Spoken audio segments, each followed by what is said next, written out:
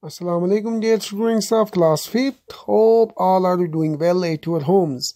Eid Mubarak to you and your family members. Don't come out of your homes unnecessarily. Follow the SOPs properly. So far as today's topic is concerned, we are going to end this chapter. That is conquering distances.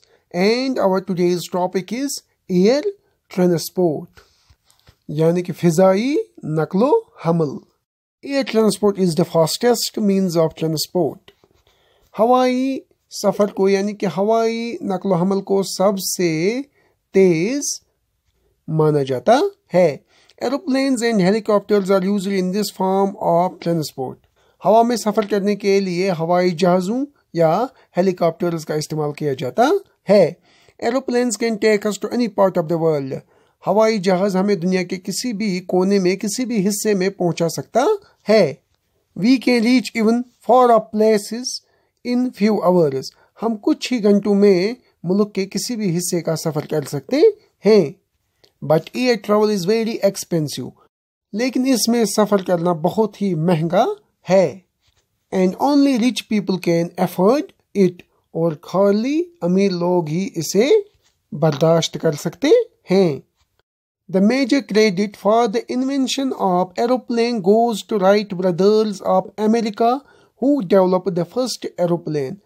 Aeroplane को जिसने ईजाद किया वो सेहरा दो भाइयों के नाम जाता है जो कहाँ के रहने वाले थे अमेरिका के रहने वाले थे और उन्हें किस नाम से पुकारा जाता था Wright brothers The first regular service was started between London and Paris in 1919.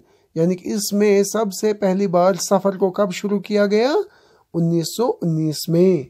The first aeroplane was invented in 1903 और सबसे पहला हवाई जहाज़ कब बनाया गया? 1903 में। And was named as the flyer और उसे किस नाम से पुकारा गया? द फ्लायर के नाम से which covered 120 feet and stayed for 12 seconds in the year यानी कि इसने 120 फीट का सफ़र तय किया और कितने सेकंड तक हवा में रहा? 12 सेकंड तक। The modern aeroplanes can carry about 200 to 700 passengers and huge amount of cargo. और आजकल के जो हवाई जहाज़ है, वो करीबन करीबन 200 से 700 लोगों को उठाता है और बहुत सारे हैवी लोड को भी उठाता है। They can fly at a height of about 10 kilometre above the sea level. यानी कि समंदरी सतह से ये 10 किलोमीटर की दूरी पे हवा में उड़ान भरता है। The speed of the aeroplane is 1000 kilometre per hour एक घंटे में ये एक हज़ार किलोमीटर तय करता है। Air transport needs an airport and a clear weather यानी कि हवाई नकल हमल के लिए एक तो मौसम साजगार होना चाहिए और एयरपोर्ट होना चाहिए, यानी कि हवाई अड्डा होना चाहिए।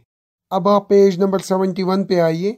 दो it is a costlest means of transport it reduce the travelling time अब जबकि ये बहुत ही महँगा पड़ता है, इसमें सफ़र करना बहुत ही महँगा पड़ता है, लेकिन ये बहुत हद तक हमारे टाइम को बचाता है।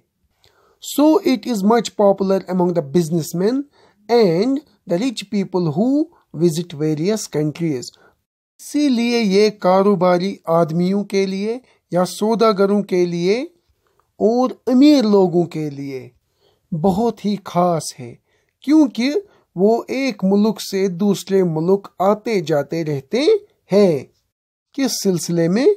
कारोबार के सिलसिले में। The Western Europe and North America have the most busy air network. मगरबी यूरोप और शुमाली अमेरिका में फिजाई नेटवर्क के सबसे मसरूफ रास्ते हैं। यानी कि इसी रूट पे सबसे ज़्यादा हवाई जहाज़ चलते रहते हैं। Millions of people travel to various parts of the world every day. यानी कि आए दिन, हर रोज लाखों में दुनिया का सफ़र करते रहते हैं cities such as London Paris New York Moscow Tokyo Jeddah and Rome have large airports with modern facilities यानी कि London Paris New York Moscow Tokyo Jeddah के शहरों की अगर हम बात करेंगे या रोम की बात करेंगे तो वहाँ पे बड़े बड़े हवाई अड्डे पाए जाते हैं और उनमें नए दौर की नई सहूलियात पाई जाती हैं। India has more than hundred civil airports. India के पास सौ से जायद सिविल एयरपोर्ट्स है। There are private and government airports too. यानी कि सिविल एयरपोर्ट्स होने के साथ साथ हमारे मुल्क में निजी और सरकारी हवाई अड्डे भी पाए जाते हैं। तो प्यारे बच्चों, इस तरह से हमारा ये चैप्टर नंबर इलेवन भी कंप्लीट हुआ। इसके जवाबात आपको पीडीएफ फ़ाइल के थ्रू मिलेंगे। और अगले तीन रोज तक कोई भी क्लास नहीं होगी कोई भी लेक्चर नहीं आएगा आपको जब तक आप इसके दिए हुए होमवर्क को कंप्लीट नहीं करोगे, पूरा नहीं करोगे, यानी कि अपनी कॉपी पे साफ़ साफ़ नहीं उतारोगे। जिस बच्चे को कहीं पे समझना आया हो या कोई सवाल पूछना हो तो वो कमेंट बॉक्स में नीचे जा सकता है, वहाँ पे अपनी राय लिख सकता है। अगर कमेंट नहीं तो मेरे पर्सनल नंबर पे मुझे मैसेज कीजिए। मैं हमेशा आपके लिए अवेलेबल हूँ। बाकी वसलाम असल वरहमत वरहमतुल्लाहि वबरकातुहू फ़ी अमानिल्लाह।